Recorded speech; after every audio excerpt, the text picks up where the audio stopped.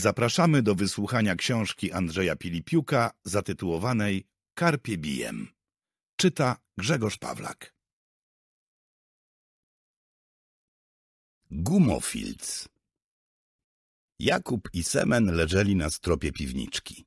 Majowy wieczór był ciepły, a oni spracowani i zmęczeni z powodów alkoholowych. Wypęd już się skończył, zużyty zacier wylany pod jabłonką nasycał powietrze miłym, no może nieszczególnie miłym aromatem. Na wieczornym niebie zapalały się pierwsze gwiazdy. Mam czasem takie paskudne wrażenie, że tam z góry ktoś nas obserwuje, burknął Jakub. I że nie jest to tym razem święty Mikołaj. Jak na zawołanie na lewo od wschodzącego księżyca pojawił się latający talerz. Przeleciał nad Trościanką i skierował się w stronę Wojsławic. Kosmici lecieli powoli, jakby czegoś szukali. Obaj starcy odprowadzili nieziemskie latadło wzrokiem.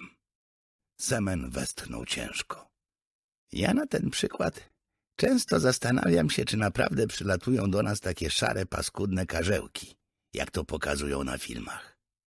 Bo tak jak spotykałem czasem nieziemców, to jednakowoż przeważnie wyglądali inaczej, ciągnął egzorcysta. I czy rzeczywiście wtykają ludziom implanty? A jeśli wtykają, to właściwie po co? Semen odruchowo dotknął ledwie widocznej blizny za uchem. Albo na przykład, dlaczego implanty wtykają tylko ci z głupimi oczami, a predatory ani alieny tego nie robią? Predatorów interesują tylko nasze czaszki, a alienom jesteśmy potrzebni jako inkubatory do wylęgu larw.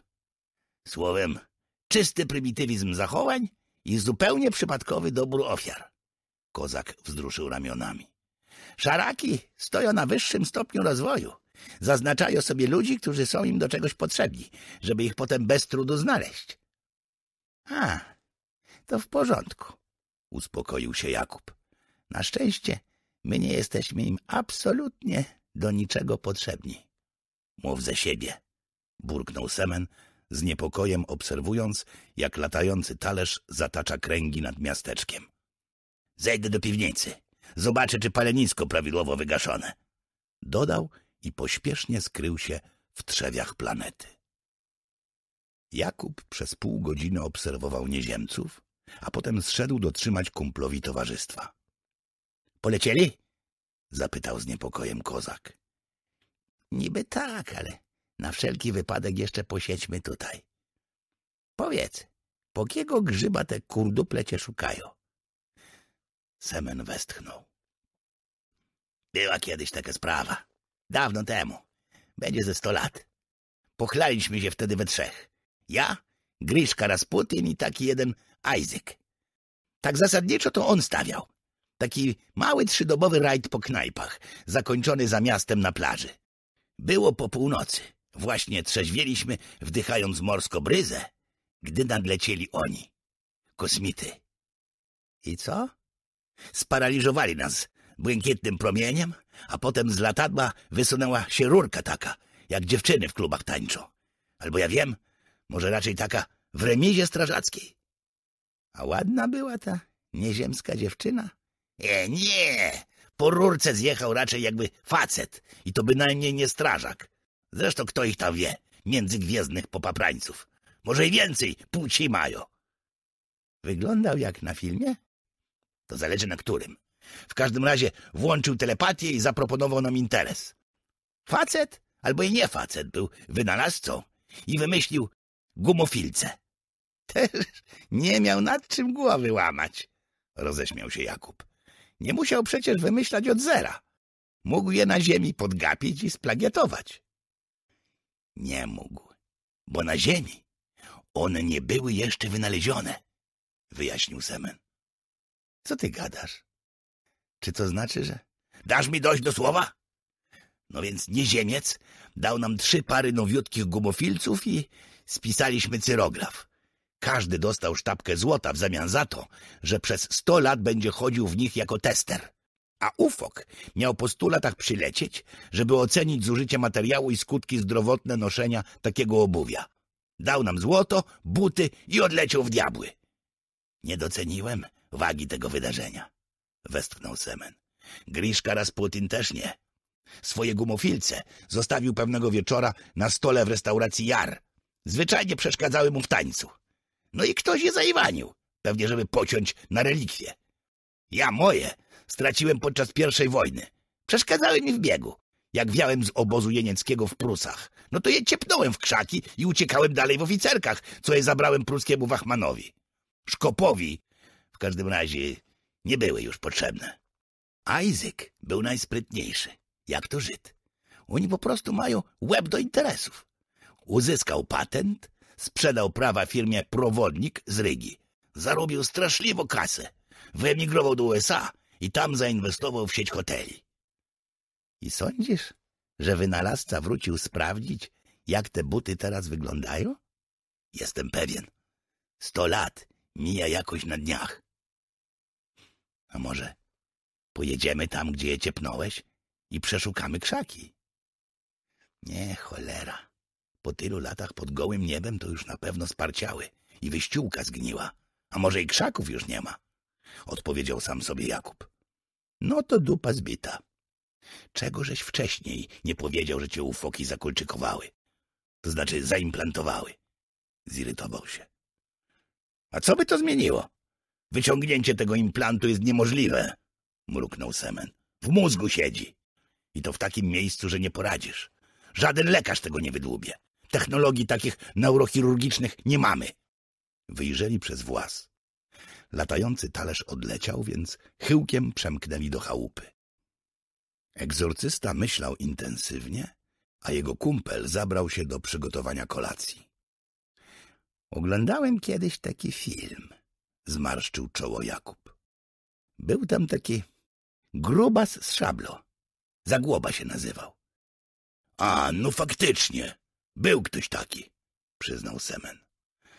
No i on sobie poprawiał intelekt tak, że pił wino, potem olej i wino, parując w żołądku, przepychało mu ten olej do głowy. A tak się składa, że mamy i samogon, i olej słonecznikowy. Ale co to ma do rzeczy? Zdumiał się kozak. Ufasz mi? Nie. Szkoda. Westchnął wędrowy, czy znienacka zamalował go tłuczkiem do kartofli w głowę. Świadomość zgasła. Kozak obudził się z jękiem. Łeb bolał go straszliwie. W dodatku zamiast na podłodze, ewentualnie w barłogu, nie wiedzieć czemu leżał na stole. W ustach miał bardzo dziwny posmak. Coś jakby chemikalia. Jego kumpel siedział przy piecu i spokojnie żuł kawałek wędzonki. — Coś ty zrobił? — burknął Semen, mocno zirytowany. — Musiałem dać ci chińską narkozę. Skomplikowane operacje neurologiczne wymagają, żeby pacjent pozostawał w bezruchu. — Że co? Jaka operacja? Przerażony Semen obmacał głowę, ale poza guzem od tłuczka nie odkrył nic niepokojącego. Żadnych dziur ani szwów. Po zagłobiańsku. Napoiłem cię samogonem, a potem olejem. Jakub wskazał blaszany lejek do benzyny leżący na parapecie. I położyłem ci termofor na brzuchu, żeby szybciej zadziałało. Olej wymieszałem z preparatem do zwalczania gnit i lekiem na pasożyty dla krów. Bo jak wesz przylepia jajko do włosów, to używa takiej wydzieliny, która twardnieje na kamień. A co krowom nie szkodzi, to i dla człowieka powinno być zdrowe. Eee, a co to ma do rzeczy? Nie zrozumiał kozak. Ufoki musieli ci jakoś ten implant wkleić. Pomyślałem tak. Napuścimy ci oleju do głowy, a do niego dodamy tego rozpuszczalnika. Jak sobie radzi z gniedami, to i ufocki implant powinien od neuronów odspoić. Środek na pasożyty sprawia natomiast, że krowa wydala glizdy oraz inne takie, to i obce ciało powinien wyrzucić. A że czaszka nie ma dużo otworów, założyłem, że implant wyjdzie nosem albo uchem. No i mamy go. Jakub triumfalnie pokazał małe elektroniczne paskudztwo, zamknięte w ubrudzonej czymś i poszczerbionej szklanej próbówce. Semenowi odbiło się. Tym razem jakby fryzjerem. Ostatnio miał takie sensacje, kiedy napili się wody brzozowej. Jesteś zaiste geniuszem neurochirurgii nieinwazyjnej. Ale gryzie mnie pytanie, czy ten środek na wszy, aby można stosować doustnie? Zaniepokoił się. Hm, zadumał się Jakub. Szczerze powiedziawszy, nie wiem. W opakowaniu była jakaś instrukcja, ale literki małe i tyle ich tam było. Zresztą i tak już za późno. Zadziałało i nie ma się czym stresować. Czyli co? zapytał Semen, oglądając elektroniczną bździnę w próbówce.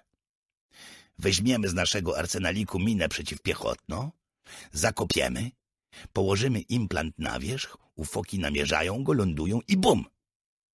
Wiesz, czasami kompletnie cię nie rozumiem, burknął Jakub. Tak na dobrą sprawę ten nieziemski wynalazca to przecież twój dobroczyńca. Tak za bezdurno buty ci dał i zapłacił grubszą kasiorę za ich przetestowanie. A ty nie dość, że uwaliłeś swoją część umowy, to jeszcze chcesz go wysadzić w powietrze? W tym właśnie problem, że zawaliłem swoją część eksperymentu. Jak mnie ufoki znajdą, mogę mieć grubsze nieprzyjemności. Wkurzę się i jeszcze zrobię mi kuku. Zaufaj mi. Znowu? Kozak odruchowo osłonił głowę ręką. Ale Jakub tym razem zamiast tłuczka złapał pęczek wytrychów, którymi odpalał traktor sołtysa. Noce na cmentarzu zawsze są zimne. Na szczęście księżyc przyświecał, nie groziła im dekonspiracja, bo przez większą część pracy nie musieli używać latarek. Obaj starcy zdrowo się namordowali, nim podważyli i za pomocą lewarka odwalili lastrykową płytę.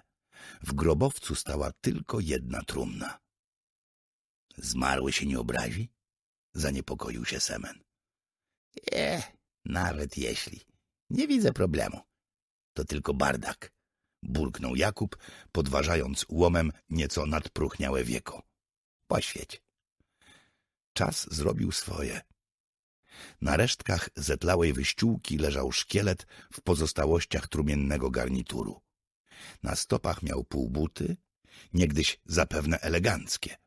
Po latach w trumnie wyglądały nietęgo. — Śpieszmy się — syknął Jakub, obserwując z niepokojem niebo. — Dawaj czachę. UFO znów krążyło nad gminą. Było to bliżej, to dalej, ale wyglądało na to, że nieziemscy chwycili wreszcie konkretny trop. Semen podał przyjacielowi bardacki czerep. Wędrowicz wrzucił implant przez otwór potyliczny i włożył czaszkę na miejsce. Na nogi nieboszczyka wzuli pośpiesznie stare gumofilce, zabrane z szopy egzorcysty.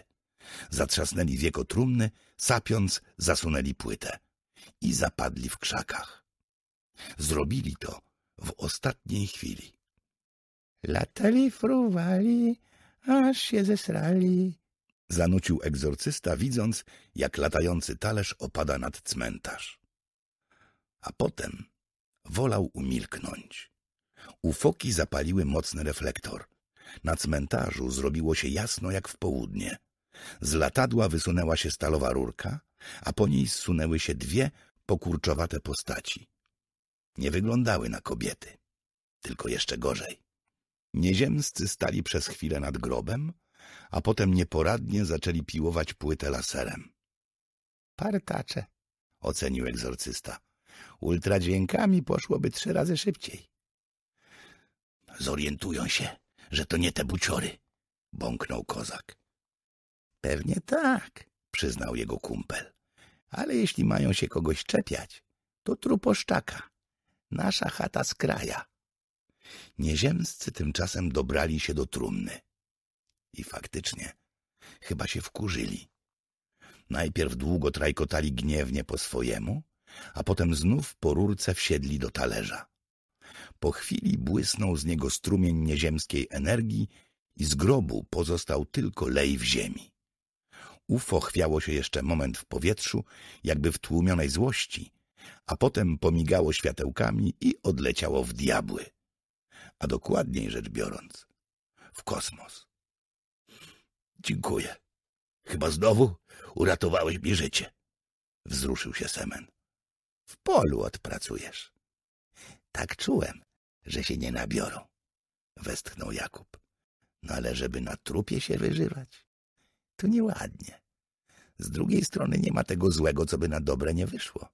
Bardaki przyjdą, zobaczą tę dziurę zamiast grobu dziadka i o nas pomyślą.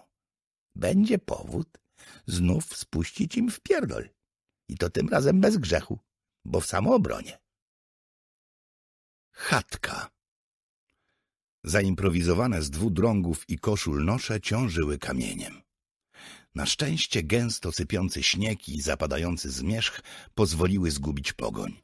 Poszczekiwanie niemieckich psów i wrzaski rozochoconych pościgiem esesmanów utonęły w zadymce. Jakub i Semen na wszelki wypadek pokluczyli jeszcze po polach i zagajnikach.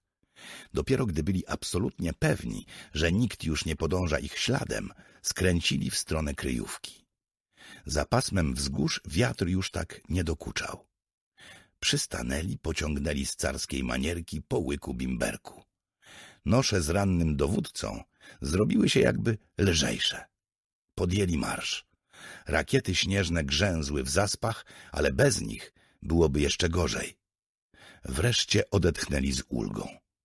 Byli na skraju zakazanego lasu. Przyszły egzorcysta zrzucił worek z pleców.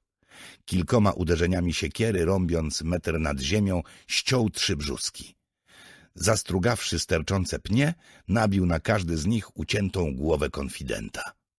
Semen stał i obserwował go w milczeniu. Co komu przyjdzie z tego, że robimy taką wystawę w lesie na Wygwizdowie, gdzie i tak nikt nie chodzi? Pomyślał. Gdyby tak zdekapitować ich w dzień targowy, publicznie, na oczach wszystkich, najlepiej w ogóle na rynku w Wojsławicach, a wystawić te głowy przy wjeździe do miasteczka, żeby każdy, największy nawet ćwok, zobaczył, czym grozi wysługiwanie się okupantowi. Rozejrzał się wokoło.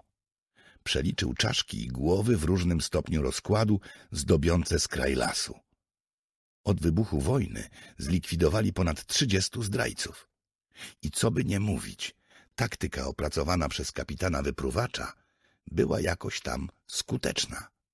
Niemcy mieli coraz większe problemy ze znalezieniem przewodników, tłumaczy, kapusiów. A ci, których wcześniej zwerbowali, jakoś przestali przykładać się do roboty. Gdzie jesteśmy? Dowódca najwyraźniej doszedł trochę do siebie i uchylił powieki. U was w lesie. Za kwadrans będziemy na kwaterze. Ranny odetchnął z ulgą i ponownie zapadł w malignę. Obaj przyjaciele zakleli zgodnie, dźwignęli nosze i ruszyli dalej. Obozowisko oddziału leżało w krótkiej debrze. Sześć półziemianek o sięgających ziemi dachach krytych darnią wystarczyło, by pomieścić barłogi dla partyzantów, kuchnię, kasyno, arsenał, szpitalik i kwaterę dowódcy. Od góry rozłożyste korony drzew osłaniały bazę przed wzrokiem ewentualnych lotników. Na skraju lasu, na szczycie niewysokiego urwiska, partyzanci zbudowali punkt obserwacyjny. Zdobyli trochę min przeciwpiechotnych, ułożyli je na ścieżkach pod liśćmi. Ponaciągali w krzakach linki od zapalników. Przygotowali zawczasu stanowiska strzeleckie wokół kryjówki. Zaraz za kulminacją pobliskiego wzgórza zaczynały się już pola i bagna otaczające dębinkę. Było jak się bronić. Było w razie czego dokąd uciekać. Jakub i Semen weszli pomiędzy chaty. Zaraz z drzew zeskoczyło czterech członków oddziału. Przejęli nosze. Obaj kumple odetchnęli i z ulgą rozprostowali obolałe plecy. Roztarli zgrabiałe palce. Mogli wreszcie odpiąć rakiety śnieżne, strzepać biały pył z ramion i czapek. — Hof! — zagadnął najwyższy leśny, małpowaty, z polskimi pagonami kaprala, krzywo przyszytymi do zszarganego pruskiego munduru. — Kapitan jest ranny w nogę. Dostał postrzał. Dawajcie go do lekarza — polecił Jakub. — Włochacz do budy!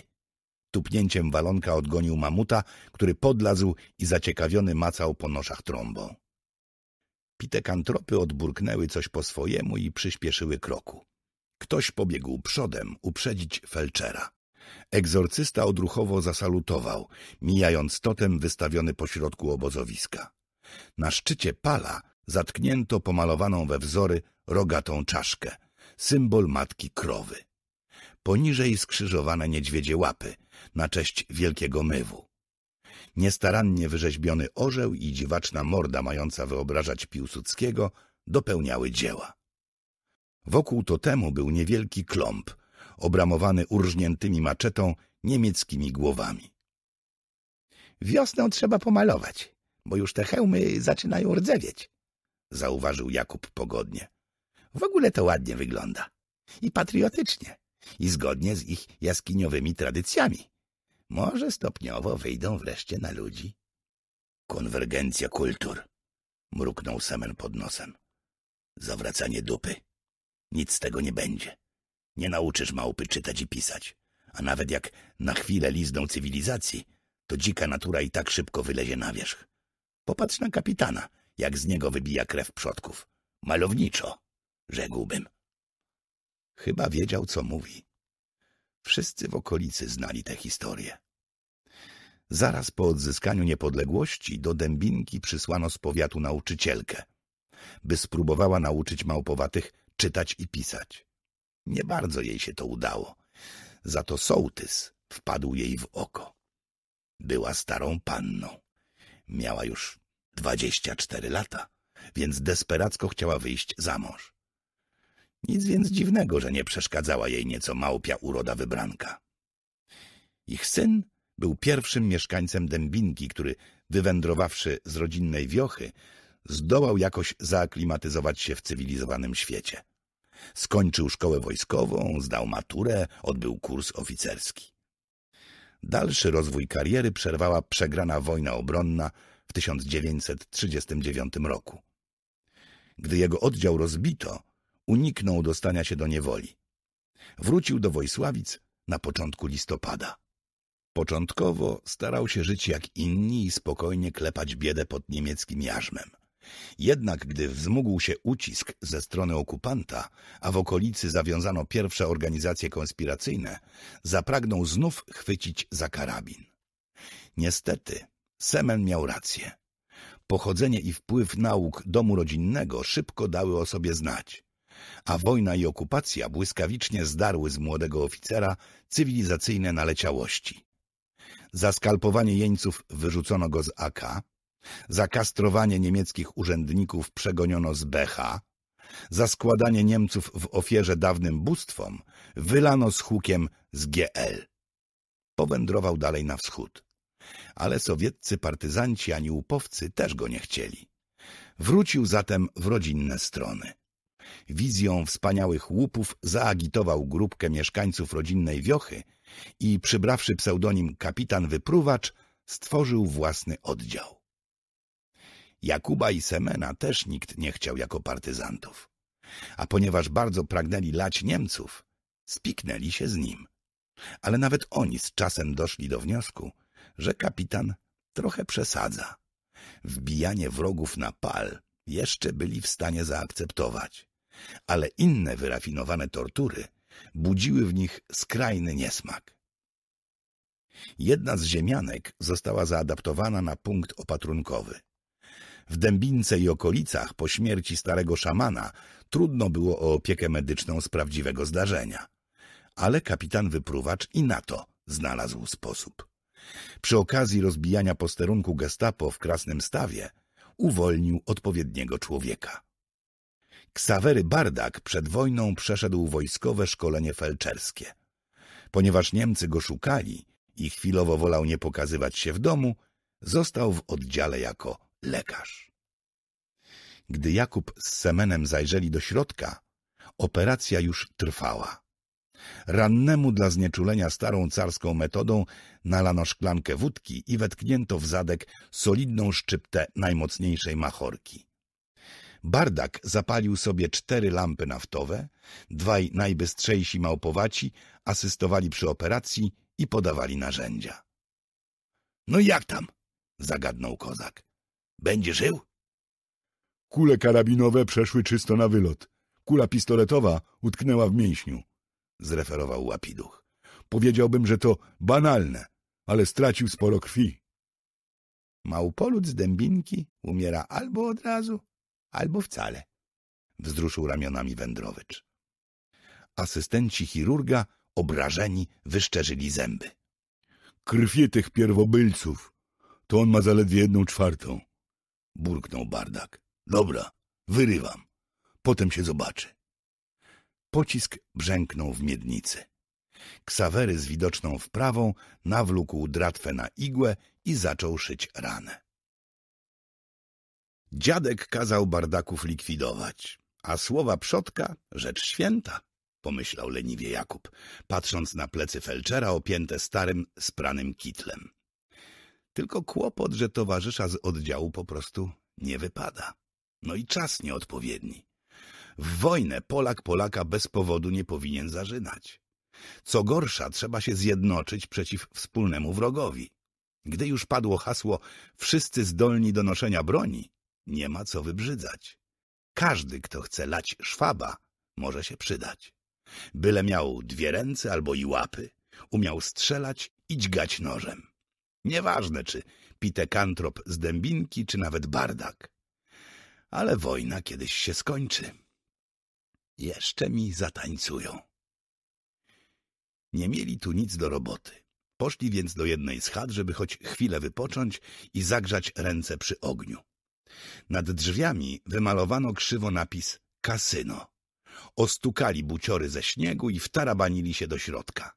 Odstawili pepesze w kąt. Przy stole pod oknem czterech pitekantropów grało w karcięta. Piąty polerował krawędzie przepiłowanego ludzkiego czerepu. Chyba chciał zrobić z niego miskę. Na widok gości przerwali partyjkę. Jeden zaraz podał przybyszom dwie miski z kaszą, drugi nalał do kubków gorzkiego ziołowego naparu o recepturze sięgającej paleolitu. Obaj kumple z wdzięcznością przyjęli poczęstunek i napitek. Kasza rozgrzała żołądki, a ziółka sprawiły, że po ciele rozlało się przyjemne odprężenie. Minęła może godzina, gdy w drzwiach stanął bardak. Dowódca odzyskał przytomność. Prosi do siebie, zameldował.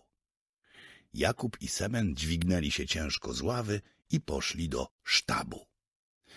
Kapitan wypruwacz najwyraźniej czuł się już o niebo lepiej. Siedział za stołem na swoim ulubionym krześle oprawionym w ludzką skórę. Ranną nogę owiniętą w bandaże położył na stołeczku.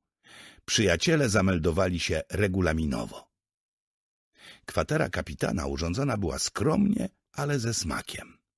Na ścianie wisiały trzy portrety. Czyngis Hana, Wlada Palownika i barona Ungerna. To z ich biografii dowódca czerpał natchnienie niezbędne do walki z okupantem. Poniżej na półeczce prezentowały się obdarte grzbiety. Sczytane do cna dzieła markiza de Sade, dzieje Gilles de i akta procesu templariuszy. Dzieł poświęconych inkwizycji hiszpańskiej kapitan nie gromadził. Uważał bowiem inkwizytorów za leni, frajerów i przesyconych duchem humanizmu nieudaczników. Na przeciwległej ścianie zawisła mapa okolicy, upstrzona chorągiewkami opatrzonymi symbolem trupiej czaszki, a obok gablota pełna niemieckich orderów i innych odznaczeń. Kapitan był zapalonym kolekcjonerem. A może chciał mieć coś na pamiątkę historycznych wydarzeń? Panowie, dziękuję za uratowanie mi życia. Uśmiechnął się. Wasza ofiarność nie pójdzie w zapomnienie. Gdy tylko wojna się skończy, wystąpię o nadanie wam stosownych odznaczeń państwowych. Zważywszy, że stoczyliśmy potyczkę ze znacznie liczniejszym i dobrze uzbrojonym przeciwnikiem. Dziękujemy, ale to drobiazg, machnął ręką Jakub. Towarzysza walki nie porzuca się na pastwę wrogów, dodał Semen. Podsumujmy akcję. Atak na mleczarnię przeprowadziliśmy wzorowo. Spalenie całej dokumentacji poważnie utrudni Niemcom ściąganie kontyngentu. Można zatem powiedzieć, że odnieśliśmy kolejne małe zwycięstwo i to bez strat własnych. Trudno, żeby były jakieś straty własne, skoro nikogo nie zastaliśmy w środku, uśmiechnął się Wędrowicz. Druga część misji, czyli likwidacja trzech zidentyfikowanych konfidentów okupanta, też przeprowadzona została wzorowo. Sukces nas cieszy, musimy jednak zintensyfikować działania, powiedział twardo dowódca. Szwaby powinny bać się każdego krzaka, każdej miedzy, każdej szopy. Niech srają pod siebie na samą myśl o okolicznych lasach. Za każdego aresztowanego Polaka musi ginąć w męczarniach dziesięciu Niemców. Wszystko to bardzo słuszne postulaty i zasadniczo podoba mi się ta idea. Jakub pokiwał głową. Jest tylko jeden tyciuchny problem. Jak zażynamy konfidentów, a nawet Volksdeutschów, to im specjalnie nie żal. Ale za kilku zabitych żołnierzy, nie mówiąc już o SS-manach, gotowi spacyfikować całą wieś. I co wtedy? Wsie obronimy. No niby dobry pomysł, ale jak to zrobić w jedenastu chłopa? AK pewnie nam pomoże, jak przyjdzie co do czego, ale proszę nie zapominać, że najchętniej by nas stąd przegnali. Tak czy inaczej, mamy zbyt mało sił. Każdy partyzant pochodzący z Dębinki wart jest dwóch partyzantów normalnych. A jeśli chodzi o walkę wręcz, to nawet pięciu. Bez obrazy, panowie, bo wy jesteście jeszcze lepsi. Szwabów jest za dużo. Wszystkich nie zabijemy, mruknął Semen. Ja ze swojej strony oczywiście gotów jestem położyć trupem ilu tylko się da, ale mój przyjaciel trafnie rozumuje. Pozabijać to żaden problem.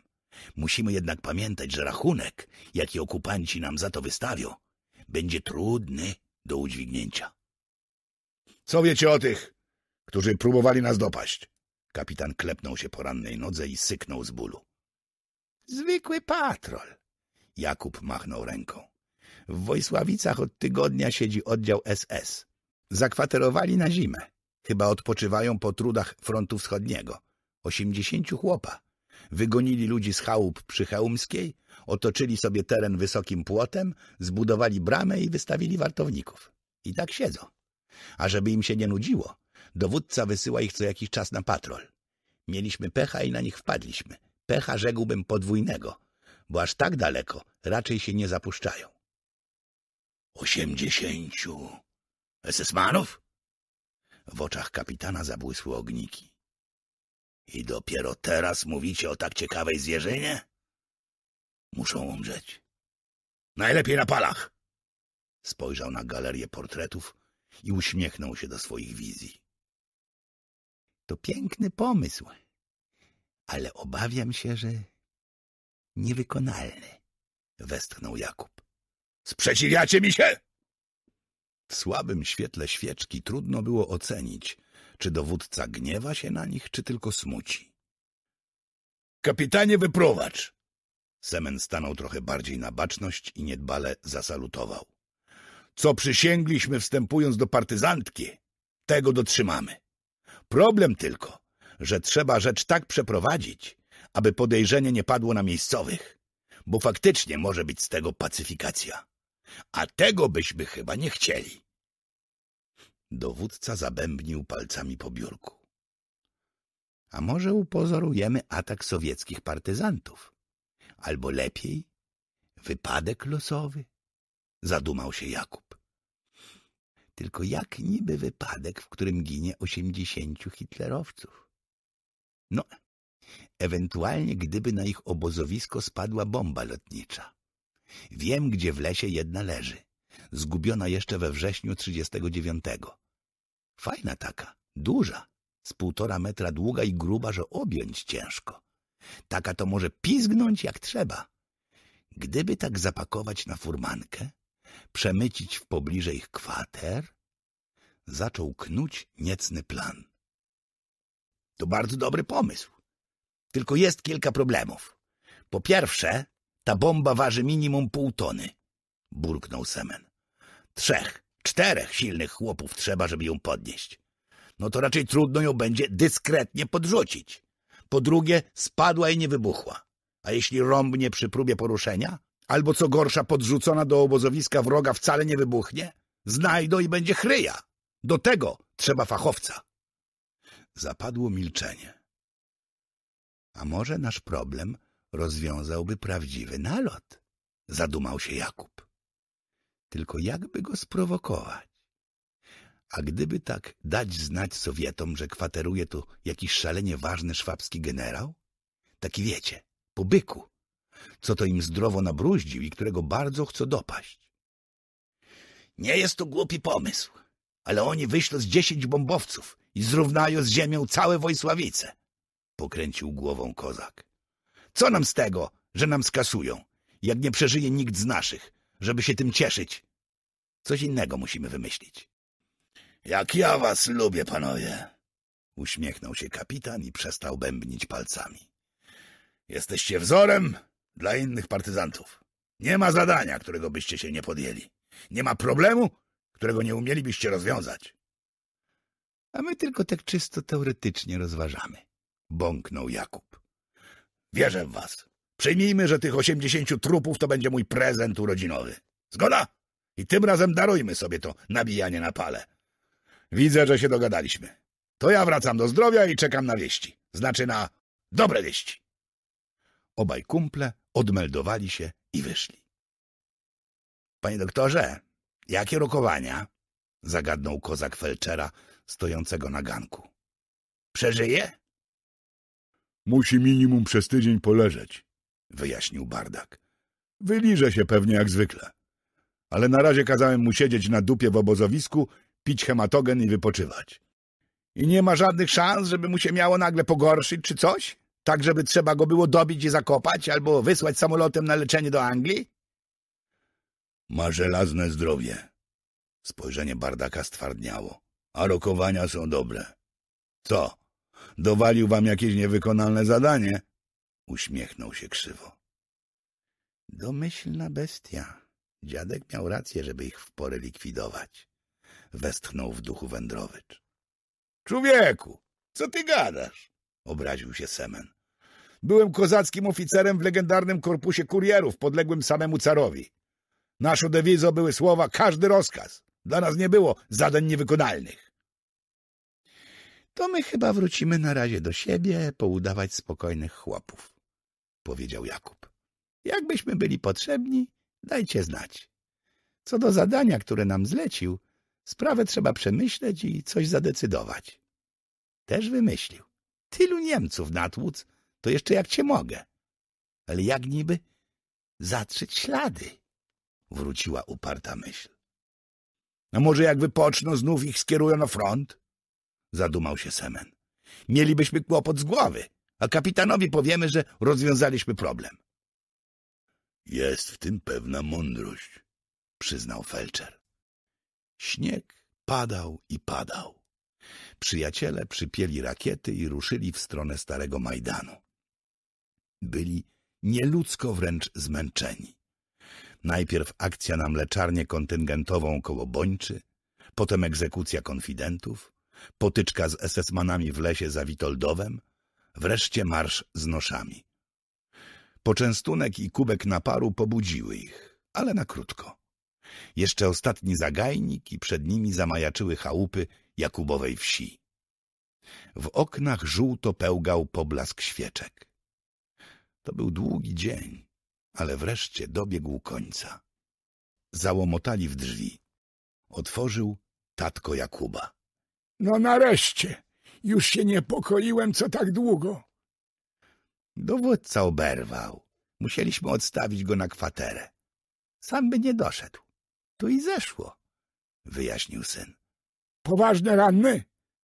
W nogę. Dwie przestrzeliny i jedna kula w mięśniu. Tyle dobrze, że udało się ją wyciągnąć. Felczer mówi, że do wesela się zagoi, wyjaśnił kozak. Znaczy się jakiś tydzień mamy spokój. Przyjemnie było siąść przy rozgrzanej kozie, zjeść miskę zawiesistego rosołu, popić domowym samogonem. Potem posiedzieć w dobrze napalonej łaźni, wygrzać gnaty, a wreszcie uwalić się w kącie na dobrze nabitym sienniku i odespać w cieple całe to włóczenie się po polach. Dniało już, gdy obaj konspiratorzy zwlekli się z barłogów, wyszli przed chatę i przetarli gęby świeżym śniegiem. Jakubowy ojciec wstał jeszcze przed świtem. Zrobił obrządek. Teraz schylony posypywał ścieżkę popiołem. Spaliście jak susły. Mruknął. Ale co tam, po akcji wiadomo, wypocząć musowo. Co trzeba pomóc, tatko? W obejściu to już porobione. Trzeba by nawieść drewna. Mamy jeszcze ten przydział od Szwabów za świniaka, co go na kontyngent odstawiliśmy. Weź furę, y, to znaczy sanki, zaprzęgnij miśka i podjedź na leśniczówkę. Kawał drogi, westchnął syn. Nie lepiej tradycyjnie poczekać do wieczora i podpiłować bardakom płot? Lepiej? Przyznał ojciec. Problem w tym, że po ostatnim razie jeszcze nie zrobili nowego. Dlatego pojedziesz na leśniczówkę. No cóż, jak mus to mus. Mus, zwłaszcza, że po drodze wdepniesz na Zarowie. Ojciec puścił oko. Zejdzie wam trochę czasu, więc jak już załadujecie, zanocujesz u Semena, żeby konia nie przemęczyć. Kobyłka mało się rusza, zastała. Trzeba ostrożnie, bo przecież to po śniegu i ciężar będzie ciągnęła. Wrócisz jutro, ewentualnie pojutrze, zależy jaka pogoda będzie i inne okoliczności. No dobra. Ja też mam do odebrania przydział. Przypomniał sobie Semen. To przy okazji skorzystam y, z waszej furmanki. Jak dają, to się bierze. Inna sprawa, że szwaby za świnie płacą człowiekowi jego własnym drewnem z gromadzkiego lasu. Aha, y, środa dzisiaj, święto dyszla. No to po drodze zajrzyjcie do Wojsławic na targ. Może co ciekawego się trafi. Wiosna przyjdzie, nowa brona by się zdała. Zjedli jeszcze tylko śniadanie, wypili kawy z palonych żołędzi i zakutali się w półkożuszki. Byli gotowi do drogi. Zaprzęgli konia do sań i pojechali. Po wczorajszej zadymce została na polach gruba warstwa świeżego puchu. Koń misiek szedł jak po sznurku. Słoneczko wyjrzało z za chmur. Środowe targi podczas okupacji wyglądały raczej smętnie. Wieloma towarami Niemcy w ogóle zakazali handlować. Ale ludzie nadal przychodzili, siłą przyzwyczajenia. Jakub i Semen zostawili sanki i konia tradycyjnie obok krzyżówek na podwórzu Pilipiuków i podreptali popatrzeć, co ciekawego, zasięgnąć języka, posłuchać plotek.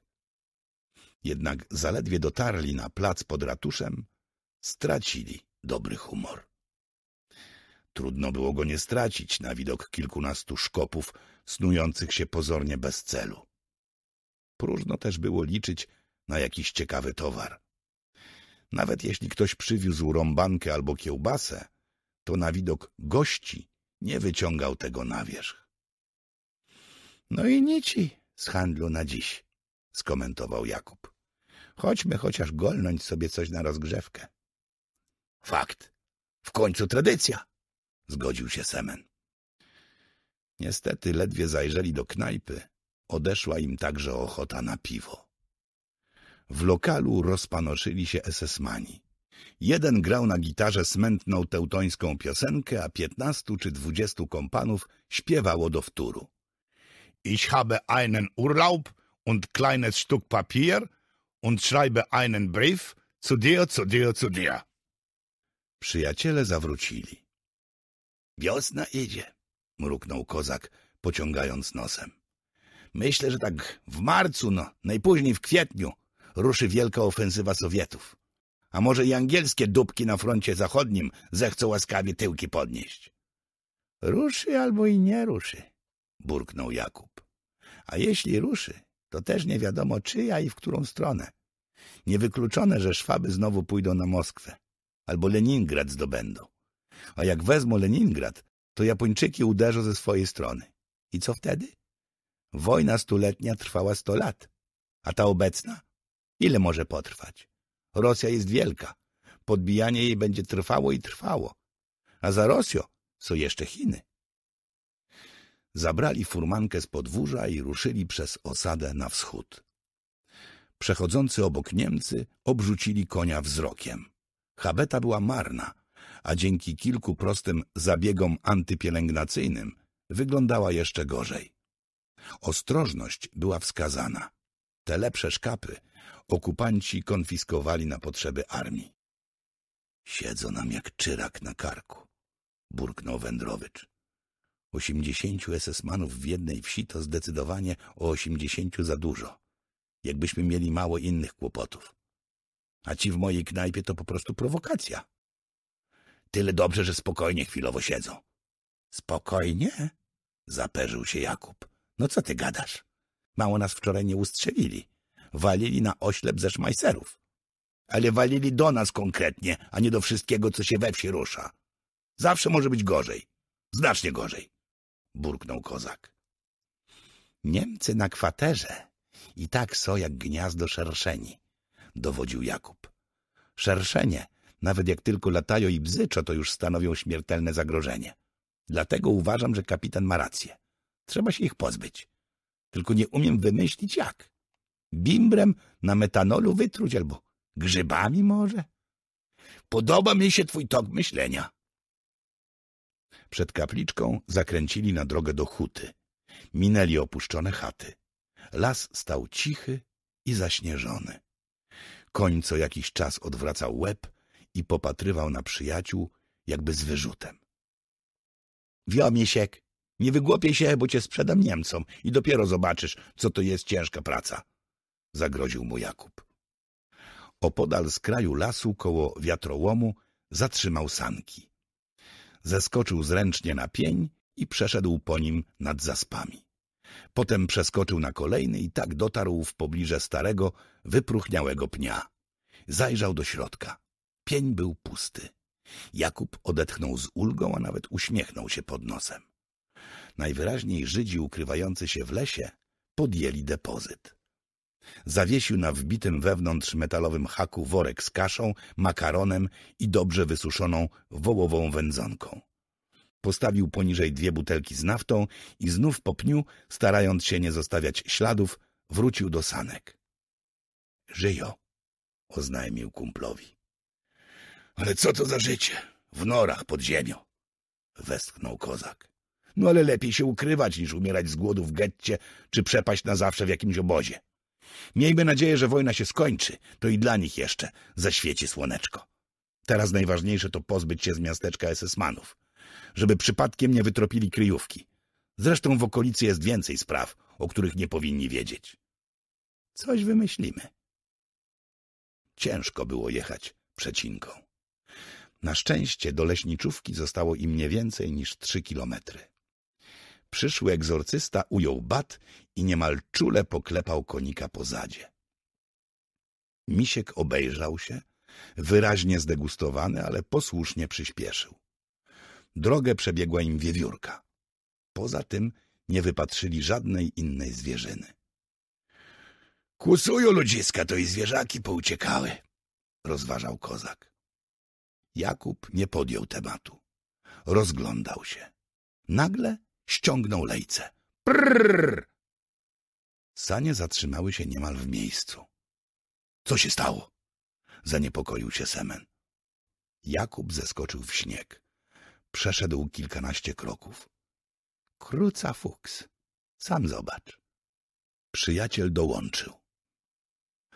Śnieg, który spadł wczoraj, mocno zatarł wszelkie ślady, ale w zaspie nadal widać było podejrzanie regularne zagłębienie, jakby niewyraźne odbicie wielkiej trójpalczastej łapy, długiej na dobre trzy metry. — Myślisz, że? — zaczął kozak. — Czy myślę? Ja jestem pewien. Zobacz, tam jest kolejny. Przeszła tędy nie dalej niż kilka dni temu. Faktycznie, dziwaczny trop, jakby zostawiony przez smoka lub dinozaura, przecinał las i nikł wśród drzew. Diabli nadali, jakby było mało nieszczęść, westchnął Jakub. Bo tak po prawdzie i tą sprawą wypadałoby się zająć. Wdrapali się na sanie i pojechali dalej. Nie minęły trzy kwadranse i byli na miejscu. Wokoło leśniczówki zgromadzono stosy drewna wyciętego po lasach w ciągu ostatniego roku. Lepsze gatunki złożono osobno, zapewne by je wyekspediować do Rzeszy. Gorszymi wypłacano chłopom deputaty za odstawione na kontyngent produkty. Niemiecki leśniczy, wywabiony dzwonkami sań, wyszedł przed budynek. Obejrzał przydziały, wpisał w księgi nazwiska, a potem pokazał, z którego sągu mogą zabrać pniaki. W ciągu niecałej godziny skończyli załadunek i ruszyli na Grabowiecką do Semena. Nim dotarli na miejsce, Przemarzli na kość. Wreszcie zajechali na zaśnieżone podwórze. Jakub od razu wyprzągł miśka i zaprowadził do pustej stajni. Rzucił szkapie siana i podsypał do żłobu owsa. Nakrył zwierzę grubymi derkami. Wlali konikowi do wiadra litrową butelkę samogonu i dodali trochę melasy, by zabić smak. Zwierzak nie bardzo miał ochotę na taki trunek, ale czując słodki posmak, wypił wszystko. To na rozgrzewkę, żebyś nie dostał zapalenia płuc, mały. Przyszły egzorcysta pogładził zwierzaka spracowaną dłonią po chrapach. Gdy Jakub wszedł do domu, powitał go chłód i lekka woń dymu. W piecu było świeżo napalone, ale musiało minąć trochę czasu, zanim chata się nagrzeje. Jego przyjaciel stał pod lampą naftową i studiował papier odczepiony od drzwi. Minę miał zafrasowaną. Złe wieści? Cholera wie. Zebranie przedstawicieli sołectw w budynku gminy dziś po południu o osiemnastej. Odczytał kozak. Obecność obowiązkowa. Pewnie jakieś nowe zarządzenie okupanta, albo nie daj Boże, represje za naszą wczorajszą akcję. Tak czy inaczej, takie wezwanie nie wróży nic dobrego. A no fakt, kiwnął głową Jakub. Mam iść z tobą? Twoja obecność na pewno doda mi otuchy, a na razie coś zjedzmy. Myślę, że jajecznica będzie akurat. A jak wrócimy cali i zdrowi, to rozpracujemy wieczorem flaszeczkę czegoś mocniejszego, obiecał Semen.